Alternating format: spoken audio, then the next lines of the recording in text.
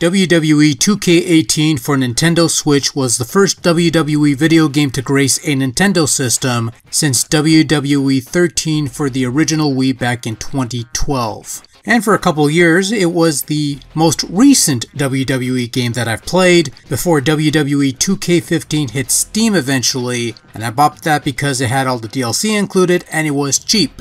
And I kept buying these games when they were cheap, until 2K19 due to the fact that, well, I don't spend that much time playing these WWE games as I did when I was younger.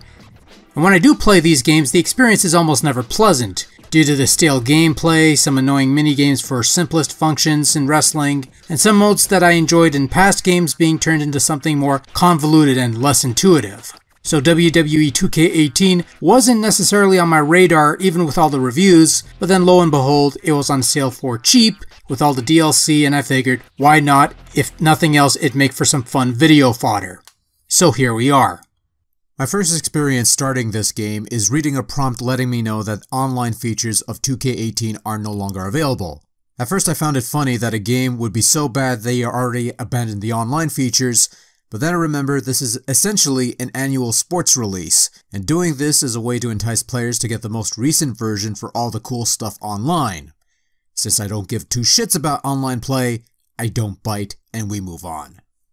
So when the WWE 2K18 title screen loads up, I notice the camera moving slightly slower than usual compared to the PC title screen. A slight difference and honestly didn't think much of it afterwards, but when I loaded up a singles match, this is where things started to fall apart. Entrances start and everything is running at half speed. The entrances in these WWE games, which can be skipped if desired, are already long enough running normally, so having these run very slowly on the Switch is even more of a sloth. But from a purely presentation standpoint, the low frame rate messes up the timing of the more elaborate entrances, such as Demon Finn Balor or Undertaker that rely on musical cues to do their thing, and the music plays normally while everything else is moving in molasses, which is not a good start to this video game. And then the basic one-on-one match begins and it runs very slowly. Timing is off on reversals because of the slow speed of the action. Controls have a slight lag to them which doesn't help much in moves and such. It's a rather lethargic sloth to play through this one match that normally wouldn't be such a thing on other games, let alone other platforms. And this is for a simple one-on-one wrestling match without any additional stipulations beyond this being a championship match. So I tried a more sophisticated match, an elimination chamber match where you have 6 wrestlers and a massive steel structure. The 8 man option is nowhere to be found in this version, which is probably a good idea, all things considered. So the load time is, well, slow. Naturally, for a match with more data, it's to be expected, but this feels much slower loading than it probably should be. And speaking of slow, this match. Oh boy, uh, you know what this is? This is akin to running a PC game on a much older computer that barely makes the minimum hardware requirements and you had to turn off a bunch of features to try and get the thing to run at a halfway playable level. That's WWE 2K18 on Switch in a nutshell. They ported a game with much higher hardware requirements to a console that could barely reach those requirements and had to reduce a bunch of settings in order to get it running at a supposed acceptable level if you want to call it that. That means the graphics taking a hit, making some of the superstars look cheap and plasticky looking, much like knockoff action figures. Some of the arenas look alright, the pyro isn't too bad all things considered. Look, I'm not going to complain about the visual presentation taking a hit. I'm used to subpar graphics on ports to lesser systems, it's to be expected, but even after all that, the game still runs like ass, with poor animation and an inconsistently poor frame rate for the little things. Maybe if there was an option to have empty arena matches that might boost the performance a little, hell, it'd actually be an overall improvement.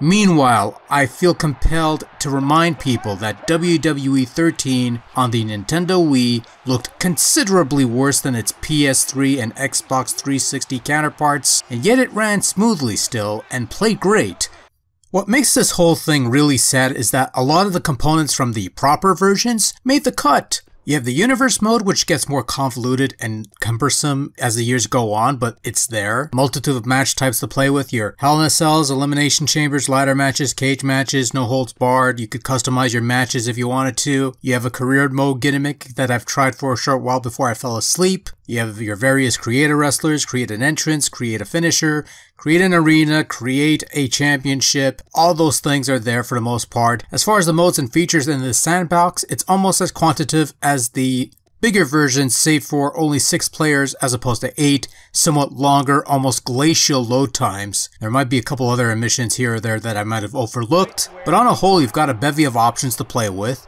and They seem fleshed out enough to keep you busy. Honestly, if it wasn't for the actual performance of the gameplay, this would have had the makings of a decent conversion of a WWE 2K video game onto the Switch, probably provide a, a segment of lower grade ports similar to the PS2 and Wii during the latter days of the old SmackDown vs. Raw series. Sound-wise, it's the stock WWE package. Most, if not all, the wrestler entrances are here, along with some stock selections for the created wrestlers you produce. There's some licensed music that I turn off even if I'm not recording shit for videos because I just don't care for that stuff. The sound effects, crowd noise, occasional voice acting featured in the game is adequate. The commentary is still the drizzling shits, but what can you do? That's the standard we're working with in these WWE products. There's not much else to say in that regard.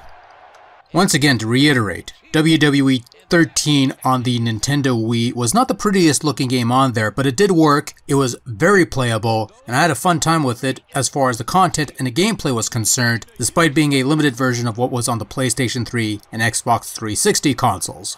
WWE 2K18 on the Switch, on the other hand, is a game that could have been worthwhile if it didn't run slower than Hulk Hogan in his 80s. And that's probably the only thing that hinders this gender of a game, because everything around the game is almost a total package. A lot of the stuff from the bigger consoles almost made the cut. If it weren't for the speed, this could have been a surefire hit for WWE fans wanting to take their sports entertainment on the go or something, but as it is, it just dropped the ball and misses the mark. But I guess in the very least, it's not 2K20. I don't know. Is that still even a thing? Uh, maybe. I don't know. Well, who cares? Bye.